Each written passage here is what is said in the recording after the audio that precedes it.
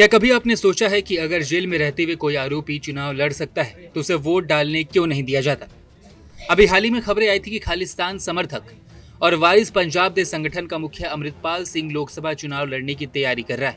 वहीं दिल्ली के मुख्यमंत्री अरविंद केजरीवाल के साथ साथ कई विपक्ष के नेता जेल में हैं और कानून के तहत अगर वो वोट डालने की अनुमति मांगे तो उन्हें वोट डालने नहीं दिया जाएगा। इसके अलावा अगर कोई भी आरोपी जेल में बंद है और वो वोट डालने की अनुमति माँगता है तो उसे वोट डालने नहीं दिया जाता। लेकिन सवाल यह है कि आखिर क्यों? चलिए हम आपको बताते हैं। अगर कोई व्यक्ति जेल में बंद है या न्यायिक हिरासत में है तो उसके चुनाव लड़ने पर तब तक रोक नहीं है जब तक उसे किसी मामले में दोषी करार ना दिया जाए। दोषी करार दिए जाने के बाद भी अगर सजा दो साल से कम की है तो वो चुनाव लड़ सकता है। हालाँकि पहले ऐसा नहीं था। इस मामले में पटना हाईकोर्ट ने फैसला दिया था। पटना हाईकोर्ट ने जेल में बंद किसी भी व्यक्ति के चुनाव लड़ने पर रोक लगा दी थी।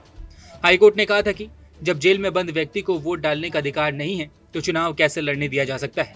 बाद में जब यह मामला सुप्रीम कोर्ट पहुँचा तो 2010 में सुप्रीम कोर्ट ने भी इस फैसले पर मोहर लगा दी थी।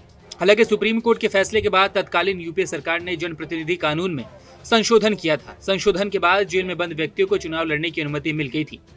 हालाँकि वोट डालने का अधिकार अभी भी नहीं मिला था। जनप्रतिनिधि कानून में हुए इस संशोधन को पहले दिल्ली हाईकोर्ट और फिर सुप्रीम हाईकोर्ट में भी चुनौती दी गई थी। दिसंबर 2014 में सुप्रीम कोर्ट ने फैसला सुनाते हुए कहा था कि एफआईआर दर्ज होने के बाद जेल में बंद होने के आधार पर किसी व्यक्ति को चुनाव लड़ने से नहीं रोका जा सकता।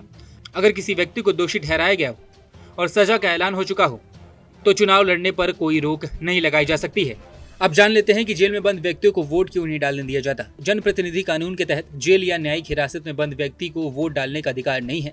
जनप्रतिनिधि कानून की धारा बासठ पाँच के अनुसार जेल में बंद कोई भी व्यक्ति वोट नहीं डाल सकता, फिर चाहे वो हिरासत में हो या फिर सजा काट रहा हो। नमस्कार, मैं हूँ मानक गुप्ता। अगर आपको हमारा ये वीडियो पसंद आया हो तो इसे लाइक और शेयर ज़रूर करें।